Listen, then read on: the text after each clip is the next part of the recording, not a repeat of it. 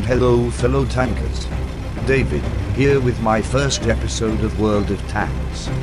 Space Bandit couldn't be here with us today, therefore you will have to settle for a lesson in history with me. This may not be as enjoyable as hearing Space Bandit talk, but it will have to do. If you don't like history I suggest that you go take a hike, and come back when my buddy Space is back in shape to narrate the next video for you. Nevertheless, let's not waste any time talking about stupidities and get right into the meat and potatoes. Today's history lesson is about the FV-215B-183 aka the Death Star. After witnessing the debut of the Soviet IS-3 heavy tank at the end of World War II, the Western armies were, safe to say, a little bit worried. As such the British immediately began work on new vehicles that could combat this new threat. In 1950, work began on the FV-215.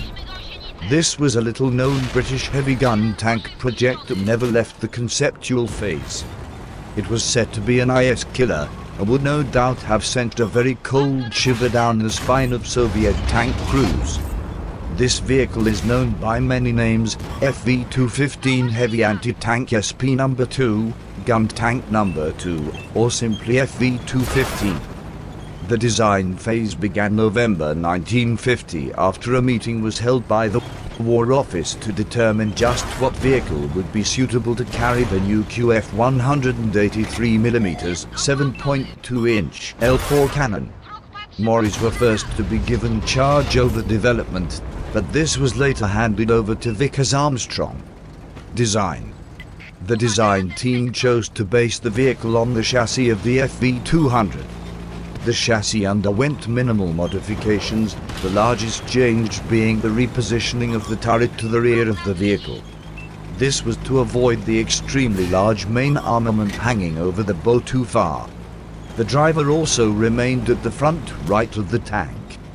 The large box-like turret mounting the 183mm 7.2-inch main armament, in theory, had a full 360 degrees of traverse, but this was not recommended on sloping surfaces. It could only fire through our 45 degree angle left and right. Despite its large size, there was still not enough room inside the turret for a working loading mechanism. As such, the predicted six rounds a minute would have been a hopeless fantasy. It is expected that this vehicle would need two loaders to service the weapon, but even so, the desired loading time would likely have gone unreached.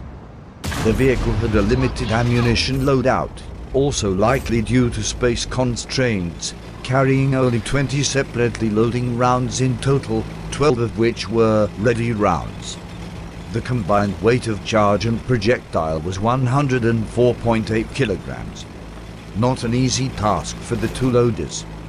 Defensive armament consisted of a Browning .30 caliber machine gun, supplied by 4,000 rounds. It was mounted in a small structure on the forward right of the turret roof. It was able to aim up and down a few degrees, there was also 1.50 caliber 12.7 millimeters M2HB on an AA mounting above the loader's hatch on the right rear of the turret. The armor thicknesses of the vehicle changed throughout its development. As it was intended as a relatively long-range vehicle, its reliance on armor would have been minimal. Nonetheless, it was given similar armor properties to the Conqueror. The upper plate varied from 125 to 152 millimeters or 4.92 to 6 inches thick. The side plates were 50 millimeters or 1.97 inches thick, with spaced armor in front. The turret had the thickest armor on its front. It was 254 millimeters or 10 inches thick. The vehicle was designed to be powered by an 810 horsepower Meteor Mk12 engine, with a power-to-weight ratio of 12.3 horsepower per ton.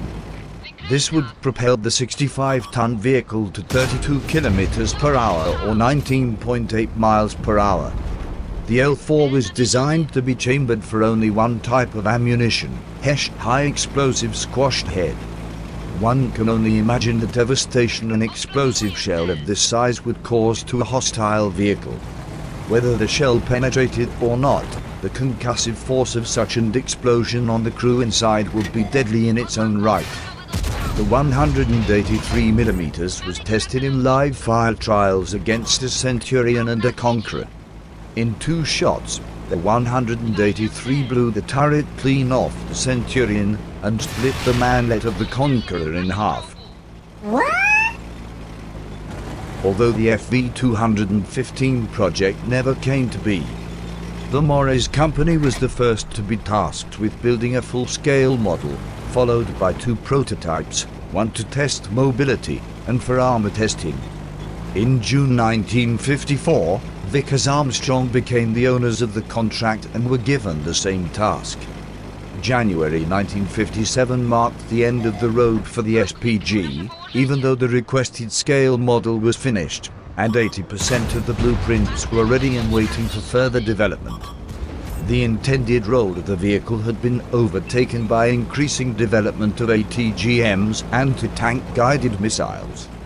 These granted the same, if not better, anti-armor capabilities, with the experiments ultimately culminating in the Malkara and Orange William missile systems. The only 183mm armed vehicles to reach prototype phase were the FV4005 Stage 1 and Stage 2. Both vehicles were based on the Centurion MBT. The Stage 1 featured an exposed gun with an automatic loading system on a limited traverse ring. The Stage 2 featured a fully enclosed turret with a full 360 degree traverse. As the loading system wouldn't fit in the turret, it was removed.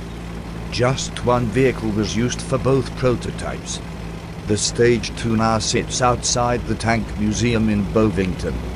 Ladies and gentlemen, I hope you enjoyed this history lesson with David. Although I'm not as bright, pleasant and likable as Space Bandit might seem to be, I do what's needed to bail out his sorry ass. Without me this video would not be possible, therefore Space Bandit is in deep debt. Anyway, enough of chit chat. That's it for today. Enjoy the rest of the 6K run, and as Space Bandit would say, happy tanking. Until next time, David, checking out.